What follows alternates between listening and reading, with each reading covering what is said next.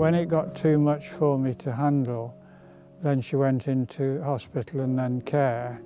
And it just knocked me for six completely. I just didn't know what to do. We've been used to each other's company all 24 7 for 30 years, and then suddenly it's gone.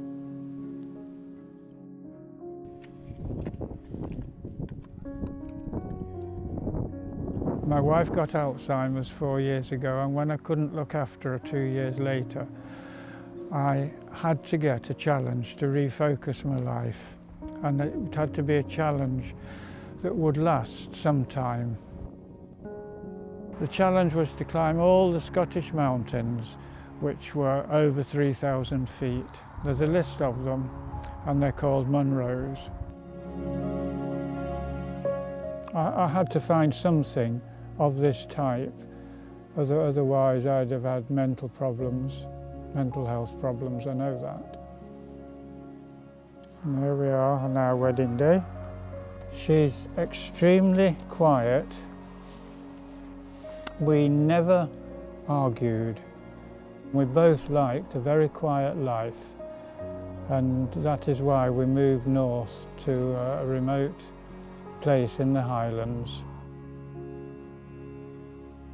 I think the, the third mountain I climbed, I just happened to be chatting to uh, other climbers and uh, I just happened to mention what I was doing for this challenge and they couldn't believe it.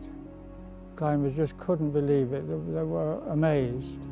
Obviously I thought, I've got something here. I'll climb all the Munros starting as an 80-year-old and it's been caught on social media.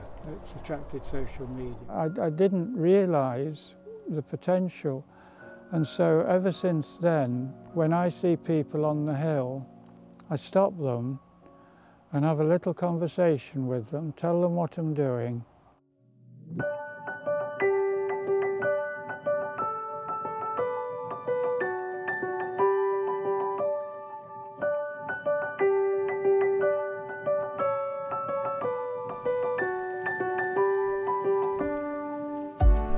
something special about mountains.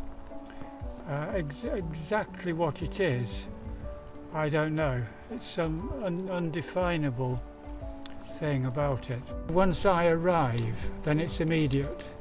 Any other problems seem to disappear into insignificance.